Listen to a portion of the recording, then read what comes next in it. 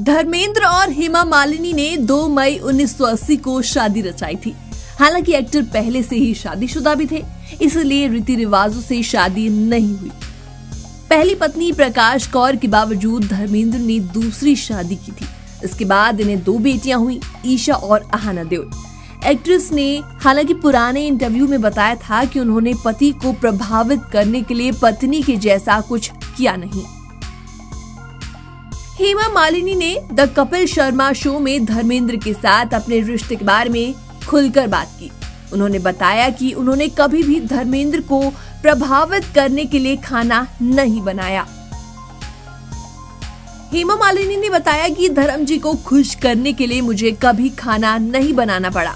हम दोनों काम में व्यस्त रहते थे। हेमा मालिनी ने इसी दौरान ये भी बताया कि उन्होंने बेटियों के स्कूल जाने के बाद खाना बनाना सीखना शुरू किया था। एक्ट्रेस ने बताया था कि ईशा अपने क्लासमेट्स के कारण दुखी होकर घर लौटती थी, जो अपनी माँ के बनाए गए खाने पर दिखावा करते रहते थे।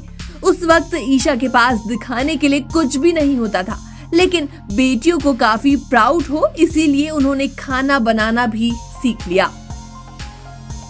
यानी ज़ाहिर तौर पर हेमा मालिनी ने अपनी दोनों बेटियों के लिए खाना बनाना सीखा।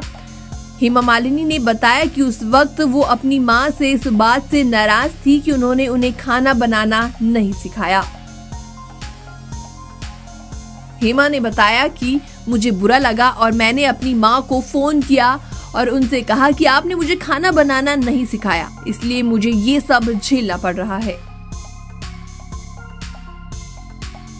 हेमा मालिनी ने बताया कि जब धर्मेंद्र घर पर आते थे तो वो साउथ इंडियन यानी इडली, सांभर और डोसा जैसे ट्रेडिशनल फ़ूड खाना पसंद करते थे।